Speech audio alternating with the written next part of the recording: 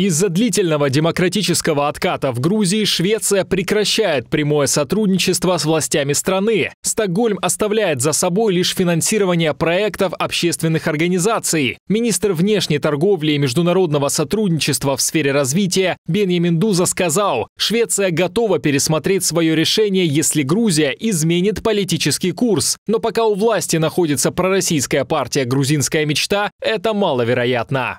Речь идет, среди прочего, о сотрудничестве между налоговыми органами, что мы считаем неуместным в нынешних обстоятельствах. Если дальше выяснится, что Грузия серьезно воспринимает свое движение в ЕС и ценит отношения с Евросоюзом, двери Швеции открыты. Бения Мендуза, министр по международному сотрудничеству в сфере развития Швеции, в комментарии изданию Дагенс Ниетер.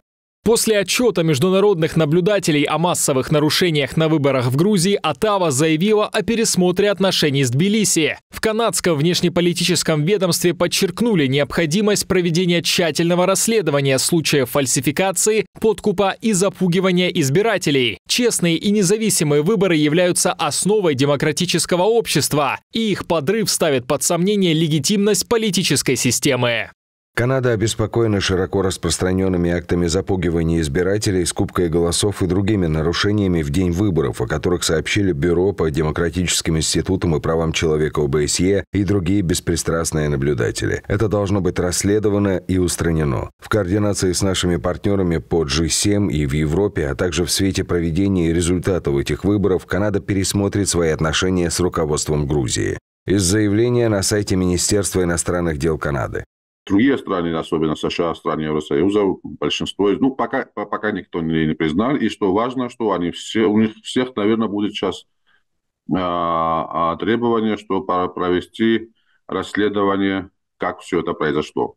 А, и как получилось, что а, на некоторых участках 133% населения голосовало и более 100% отдали голоса с грузинской мечты. В Вашингтоне предупредили о последствиях, если правительство Грузии не сменит политический курс. Представитель Госдепартамента США Мэтью Миллер напомнил, интеграция в ЕС и НАТО закреплена в Конституции страны, а подобные фальсификации на выборах не имеют ничего общего с демократическими ценностями.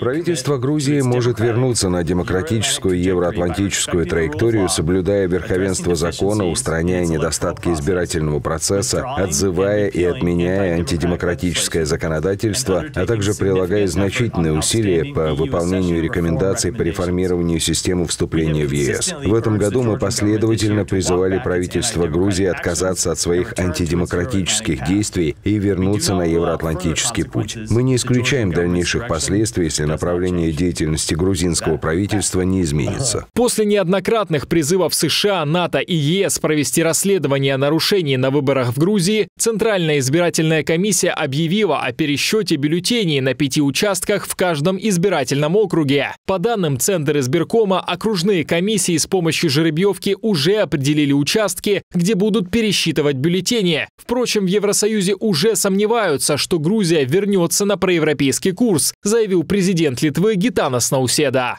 Никита Скоблика для телеканала Freedom.